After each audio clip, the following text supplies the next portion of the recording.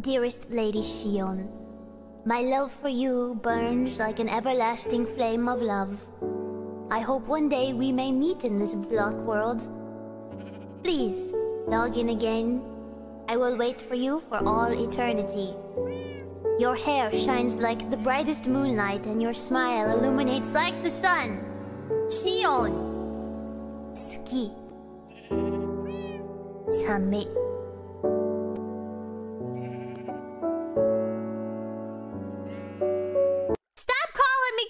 damn it!